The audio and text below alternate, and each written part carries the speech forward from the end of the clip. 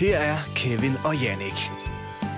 Kevin blev for halvandet år siden gjort lam i et biluheld, og efter en sej kamp gik konen fra ham og tog begge børn med.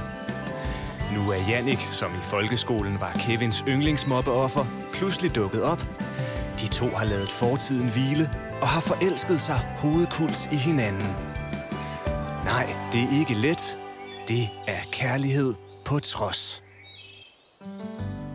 Jeg hører jo, at øh, Kevin, han har fået til ryg krøllet totalt sammen i noget spritkørsel. Og konen, hun er strøgen med, med begge børn, og han bare sidder herhjemme og kukkelurer.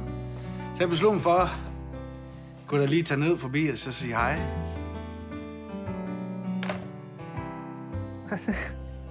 det ene, det tager det andet. Kevin han insisterer jo på, at jeg skal have en overnatning hernede og sådan noget, og en det bliver til mange, og mange det bliver til flere. Ja, nu har jeg sagt min lejlighed op. Så sidder vi her. Ikke Bamse?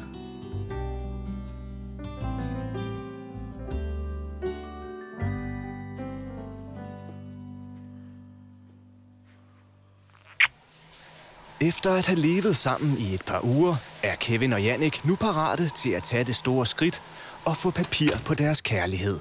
Og på grund af Kevins handicap har parret besluttet at holde et hjemmebryllup. Kevin sidder allerede klar og venter spændt, mens Jannik tager fint tøj på. Så er det i dag. Den store dag. Nok især for mig. Jeg har aldrig prøvet at være gift før. Det har Kevin nu. Vi valgte at holde det helt fuldstændig intimt. Der er ikke andet øh, os to, og så, så rådmand, som også er viden. Men der er ikke sparet på noget som helst. Der er både lidt knas og bobler og sådan noget, og så senere så er der bestilt sushi. Det var Kevins idé. Det er nemmere at blende. Skal vi gøre det her? Nej, folks øh, reaktion, de skulle ved noget skarp. Øh, der er helt sikkert Kevin, der er trukket længst strå. Han undgår en, en ordentlig dosis af nogle af de fordomme, der øh, vi homo vil der i slås med. Og fordi han sidder i sådan en der. Det er også meget, meget nemmere for sådan en som ham at være ude og handle ind og sådan noget. Så får man også lige pille lidt ved folks fordomme og der tolerance. Kevin og Jannik er et levende bevis på, at kærligheden kommer, når man mindst venter det. Når vi jo faktisk kendt hinanden siden folkeskole, så skiller vi lidt fra hinanden. Man kan heller ikke ligefrem kalde os de bedste venner dengang. Man kan jo faktisk godt sige, at, uh, at Kevin har lidt efter mig. Altså være helt ærlig. Okay, tænk mig, jeg tror nej. Hvad er du til julens for? Ikke mere drillerier. Der er nok at se til, ikke skat? Rådmanden, som skal vi i parret, er nu lige på trapperne. Så, Så Jannik giver Kevin lidt beroligende medicin til at dulme nerverne. kom, så. Ah.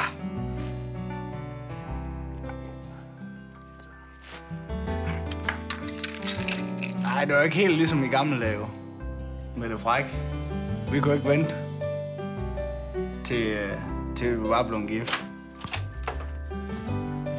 Hej, hej.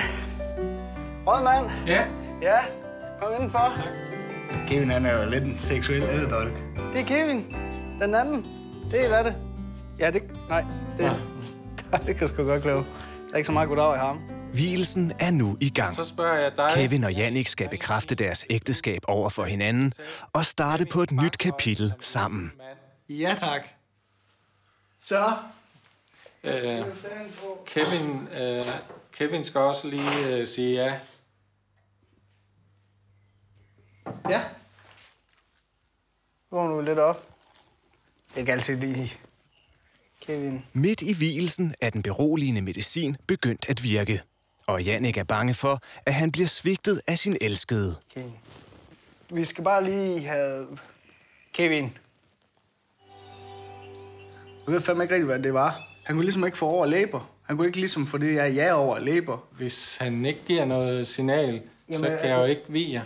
Det er måske, fordi han er forelsket op til over begge ører, og han bare sad der helt fuldstændig blank. De blinker. Når de skal kommunikere, så blinker de.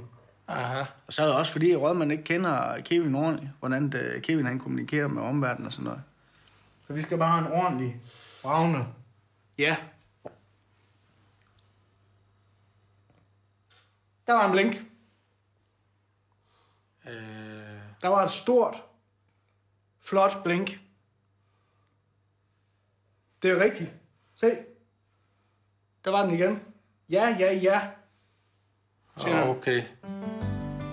Så Jeg erklærer jer hermed ægte folk at være, skal jeg... og I må kysse hinanden. Jeg er sikker på, at det er fordom det hele. Han er kommet ind, set en handicappet med en stykke øh, flot mandfolk. Ja, så bliver det godt. Så han tænkt, det han, be- han har betalt for. Det var sgu godt, du kunne komme i dag. Velkommen. Og hvis der er én ting, Kevin ikke har, så har Satman godt nok at betale for mig. Det er helt sikkert. Jeg er her ikke på grund af penge. Eller jeg... Jeg er her ikke på grund af penge. Så... Bassekat. Så er der ingen, der kan løbe nogen steder. Hvad? Følg med i næste uge, hvor Kevin og Jannik venter spændt Nogle værre en. på at tage imod deres nye au Samson. Det er kærlighed på trods.